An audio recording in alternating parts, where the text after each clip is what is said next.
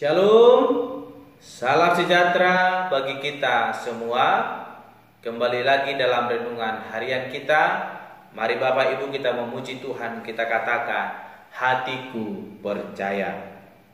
Saat ku tak melihat jalanmu,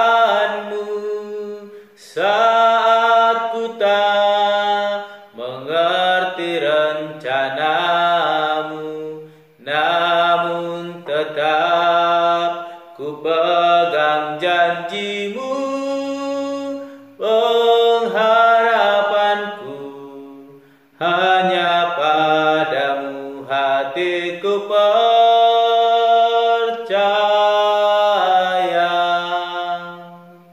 Hatiku percaya.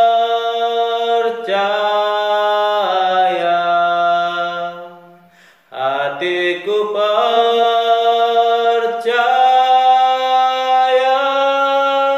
Selalu ku percaya.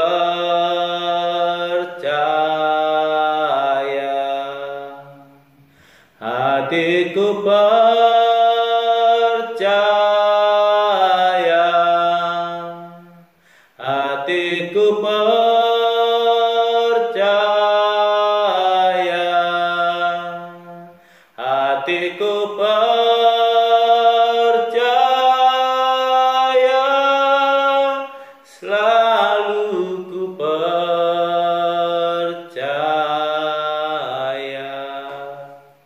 amin mari Bapak Ibu kita membuka Alkitab kita dari kitab bilangan pasal yang ke-21 ayat yang ke-21 sampai dengan yang ke-35 demikianlah firman Tuhan Kemudian orang Israel mengirim utusan kepada Sihon, raja orang Amori dengan pesan, "Izinkanlah kami melalui negerimu. Kami tidak akan menyimpang masuk ke ladang-ladang dan kebun-kebun anggurmu. Kami tidak akan minum air sumurmu. Di jalan besar saja kami akan berjalan sampai kami melalui batas daerahmu." Tetapi Sihon tidak mengizinkan orang Israel berjalan melalui daerahnya Bahkan ia mengumpulkan seluruh laskarnya, lalu keluar ke padang gurun menghadapi orang Israel, dan sesampainya di Yahas berperanglah ia melawan orang Israel. Tetapi orang Israel mengalahkan dia dengan mata pedang dan menduduki negerinya dari sungai Arnon sampai ke sungai Yakob, sampai kepada Bani Amon, sebab batas daerah Bani Amon itu kuat. Dan orang Israel merebut segala kota itu lalu menetaplah mereka di segala kota orang Amori di Hesibon dan segala anak kotanya. Sebab Hesbon sebab Hesibon ialah kota kediaman Sihon raja orang Amori raja ini tadinya berperang melawan raja Moab yang lalu dan merebut dari tangannya seluruh negerinya sampai ke sungai Arnon itulah sebabnya penyair-penyair berkata Datanglah ke Sibon, baiklah dibangun dan baiklah diperkuat kota kediaman Sihon itu. Sebab api keluar dari Hesibon nyala dari kota kediaman Sihon yang memakan habis Armoab yang berkuasa atas bukit-bukit di sepanjang sungai Arnon. Celakalah engkau ya Moab, binasa engkau ya bangsa Kamos. Ia membuat anak-anaknya lelaki menjadi orang-orang pelarian dan anak-anaknya perempuan menjadi tawanan kepada Sihon, raja orang Amori. Kita telah menembaki mereka Hesibon binasa sampai ke Dibon, dan kita menenduskannya sampai ke Nopa yang terbentang sampai ke Medeba. Demikianlah orang Israel diam di negeri orang Amori setelah Musa menyuruh orang mengintai kota Yaezer. Mereka merebut segala anak kota Yaezer dan menghalau orang-orang Amori yang ada di situ. Kemudian berpalinglah mereka dan maju ke arah Basan. Lalu Ok Raja Basan beserta segala rakyatnya maju ke Edrei menjumpai mereka untuk berperang. Tetapi Tuhan berfirman kepada Musa, Janganlah takut kepadanya, sebab aku menyerahkan dia dengan seluruh rakyatnya dan negerinya ke dalam tanganmu. Dan haruslah kau lakukan kepadanya seperti yang kau lakukan kepada Sihon, raja orang Amori yang diam di Hesibon. maka mereka mengalahkan dia dan anak-anaknya dan seluruh rakyatnya sehingga seorang pun dari mereka tidak ada yang dibiarkan terlepas lalu mereka menduduki negerinya. Amin. Bapak Ibu saya yang terkasih, kita kembali merenungkan firman Tuhan pada hari ini dan saya memberikan tema kepada kita yaitu tanggung jawab orang percaya. Bapak Ibu Saudara yang terkasih, kita telah melihat dan kita telah membaca bagaimana perjalanan orang Israel boleh pergi ke tanah Kanaan, tanah perjanjian yang telah dijanjikan Tuhan Allah untuk mereka boleh diami. Namun Bapak Ibu, apa yang telah dijanjikan Tuhan kepada mereka bukanlah segampang itu untuk mendapatkannya. Mereka harus memiliki tanggung jawab atas setiap apa yang akan Tuhan berikan kepada mereka. Allah menjanjikan tanah perjanjian namun Allah membiarkan mereka berperang untuk boleh mendapatkan tanah Kanaan. Yang artinya bahwa Allah mengizinkan mereka untuk boleh berperang. Mereka harus memiliki tanggung jawab untuk boleh mendapatkan bahkan menikmati tanah perjanjian itu.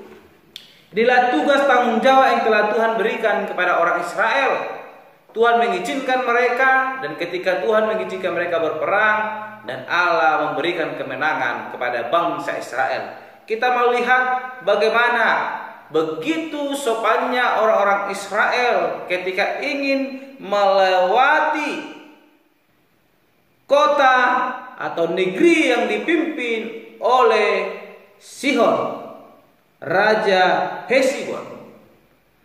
Ketika bangsa itu meminta hanya lewat saja dari jalan-jalan besarnya dan tidak akan masuk ke ladang-ladangnya, bahkan meminum air daripada sumurnya. Namun Bapak Ibu kita melihat bahwa raja itu tidak mengizinkan bahkan datang memerangi bangsa Israel. Bangsa Israel adalah bangsa yang diberkati oleh Tuhan, bangsa atau umat pilihan daripada Allah sehingga Allah memberikan kemenangan kepada mereka.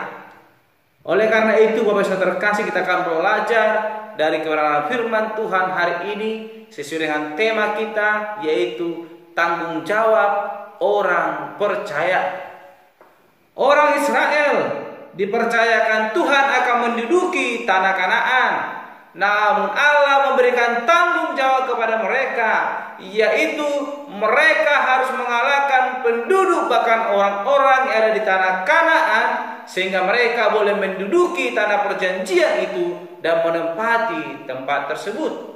Ada tanggung jawab yang harus mereka emban, yaitu mengalahkan orang-orang atau penduduk yang ada di tanah Kanaan sehingga mereka berkuasa atas tanah perjanjian itu. Sehingga ketika Allah boleh memimpin mereka dalam peperangan itu, mereka mengalami kemenangan. Apa yang menjadi renungan bagi kita tengah-tengah kehidupan kita saat ini sebagai orang percaya? Jikalau kita membandingkan kehidupan para nenek moyang kita, yaitu orang Israel, bagaimana berbanding terbalik dengan saat ini Bapak yang terkasih?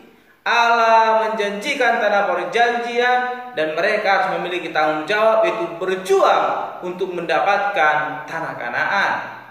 Namun hari ini Tuhan mau katakan kepada kita, kita sebagai orang percaya, orang telah dipilih Allah juga memiliki tanggung jawab untuk boleh mendapatkan anugerah Allah yaitu kerajaan surga yaitu kehidupan kekal di tengah di dalam surga nantinya maka kita harus memiliki tanggung jawab tanggung jawab apa Bapak saya terkasih orang Israel diberikan tanggung jawab untuk mengalahkan penduduk yang ada di tanah Kanaan sehingga mereka boleh menduduki hal demikian namun saat ini firman Tuhan telah berkata di dalam kitab Efesus. Mari Bapak Ibu kita membaca bersama-sama di dalam Efesus pasalnya yang ke-6 ayat ke-10 sampai dengan yang ke-20. Ini akan menjadi tanggung jawab kita sebagai orang percaya. yang telah Tuhan tetapkan di tengah-tengah kehidupan kita sebagai orang percaya. Demikian saya akan membacakan Bapak Ibu yang terkasih yaitu perlengkapan rohani. Akhirnya hendaklah kamu kuat di dalam Tuhan, di dalam kekuatan kuasanya. Kenakanlah seluruh perlengkapan senjata Allah supaya kamu dapat bertahan melawan tipu muslihat iblis. Karena perjuangan kita bukanlah melawan darah dan daging, tetapi melawan pemerintah-pemerintah, melawan penguasa-penguasa, melawan penghulu-penghulu dunia yang gelap ini, melawan roh-roh jahat di udara. Sebab itu, ambillah seluruh perlengkapan senjata Allah supaya kamu dapat mengandalkan perlawanan pada hari yang jahat itu dan tetap berdiri sesudah kamu menyelesaikan segala sesuatu. Bapak Ibu sedang terkasih, sebagai orang percaya, kita memiliki tanggung jawab kita untuk boleh mempertahankan iman kita dan untuk boleh sampai ke dalam kerajaan sorga. Dikatakan bahwa orang Israel untuk mendapatkan tanah kanan, tanah perjanjian, mereka harus melakukan peperangan melawan penduduk-penduduk yang ada di sana sehingga boleh menduduki tanah kanaan. Namun dalam kehidupan kita saat ini, Lawan kita bukanlah manusia saja, tetapi adalah penguasa-penguasa di baik itu roh-roh jahat yang akan mengganggu iman percaya kita. Oleh karena itu kita memiliki tanggung jawab yaitu menjaga iman kita. Bagaimana kita dapat menjaga iman kita? Dalam kitab Efesus telah dikatakan yang ke-10 sampai dengan ke-13 yaitu kenakanlah perlengkapan senjata Allah. Itu yang akan memampukan kita kita melihat Bapak Ibu Saudara yang terkasih Bagaimana bangsa Israel boleh mengalami kemenangan Karena Allah berpihak kepada mereka Dan saat ini juga Jikalau kita ingin mengalami kemenangan itu Maka kita harus menggunakan Memakai perlengkapan senjata Allah Sehingga Allah akan memampukan kita Dan memberikan kita kemenangan Melawan si iblis yang senantiasa mengganggu kehidupan kita. Sebagai orang percaya kita memiliki tanggung jawab yaitu tanggung jawab menjaga iman percaya kita sehingga kita boleh mendapatkan janji yang telah Tuhan berikan dalam hidup kita yaitu kehidupan kekal dalam kerajaan surga. Oleh karena itu, ingat Bapak Ibu kita memiliki tanggung jawab yaitu menjaga iman kita. Oleh karena itu, pakailah perlengkapan senjata Allah maka kita akan dimampukan dan mengalami kemenangan sebagaimana bangsa Israel ketika mereka berpengharapan kepada Tuhan mereka mengalami kemenangan dalam setiap peperangan mereka sampai mereka menduduki tanah perjanjian itu oleh karena itu jikalau kita ingin menerima janji Allah tetaplah pegang tanggung jawab kita pertahankan iman kita maka Allah akan senantiasa memperhitungkannya dan membalaskannya berlipat ganda di tengah-tengah kehidupan kita Amin. Mari kita berdoa. Bapak Surgawi, terima kasih untuk perenungan hari ini. Kami bersyukur buat firman Tuhan yang telah kami renungkan, yang mengingatkan kami kembali sebagai orang percaya. Kami memiliki tanggung jawab yang harus kami emban untuk boleh mempertahankan iman kami sehingga kami tidak dikalahkan oleh kuasa si jahat namun kami boleh berkemenangan dalam Tuhan Allah mematahkan kuasa si iblis dan boleh memperoleh anugerah yang daripada Tuhan dan boleh menerima janji-janji yang telah Tuhan janjikan dalam hidup kami yang akan menyatakan bagi setiap kami yang sungguh-sungguh percaya kepada Engkau.